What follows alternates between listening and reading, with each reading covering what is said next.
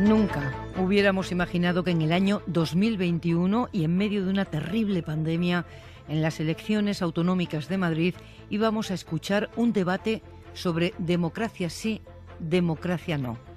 Pero esta es la pantalla en la que estamos para lo que queda de campaña. O se está con los demócratas o se está con los fascistas. Para eso ha servido el debate de hoy en la SER para retratar a la extrema derecha banalizando una amenaza explícita de muerte a un candidato, Pablo Iglesias, y a tres miembros de su familia. Amenaza acompañada de cuatro balas, una por cada uno. Amenazas de muerte que también han recibido, como saben probablemente, el ministro del Interior y la directora general de la Guardia Civil. Criminalizar a menores desprotegidos. Negar a las 1.085 asesinadas por la violencia de género acusar directamente al gobierno de las muertes de la pandemia, reclamar que se vayan de España sus adversarios políticos.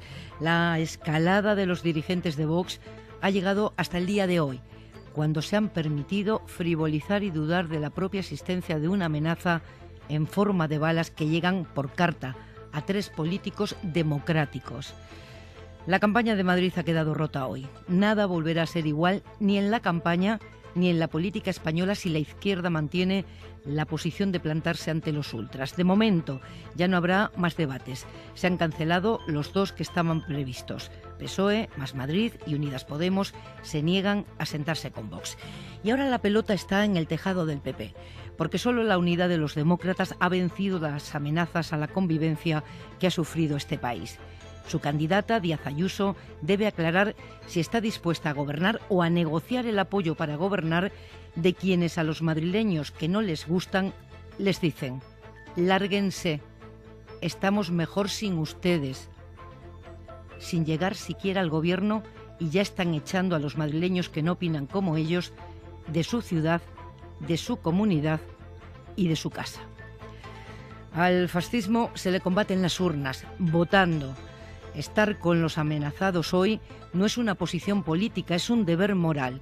Nos jugamos el país en el que queremos vivir y el país en el que vivan nuestros hijos. Yo sí creo que es un punto de inflexión, estoy convencida. Esto va a marcar, eh, o sea, yo creo que todos, todos, todos, incluida Isabel Díaz Ayuso, que no estaba, yo creo que todos tienen que repensar qué van a hacer a partir de ahora. Y yo eh, estoy, no sé si la palabra es orgullosa, pero estoy muy satisfecha de la reacción de los tres candidatos del Partido Socialista, de Más Madrid y de Ciudadanos, que desde posiciones diferentes en las propuestas y en la manera de gestionar la pandemia, eh, han entendido que esto va de democracia.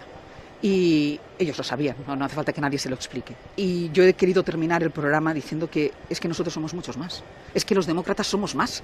Entonces, hagámonos oír, hagámonos oír, somos más los demócratas. Ellos hacen mucho ruido, sí, pero nosotros somos muchísimos más. Y esto va de democracia, no va ni de, también, ¿eh? va de sanidad, de educación, de inversión pública, de impuestos, va de todo esto, pero sobre todo esto va de democracia y con la democracia no se juega. Y de que quien ha venido a torpedear este debate posiblemente lo haga como prólogo de torpedear el modelo de sociedad totalmente, y de convivencia. Totalmente, esto ha sido un ejemplo, esto ha sido un ejemplo del modelo de país que ellos buscan y que ellos quieren.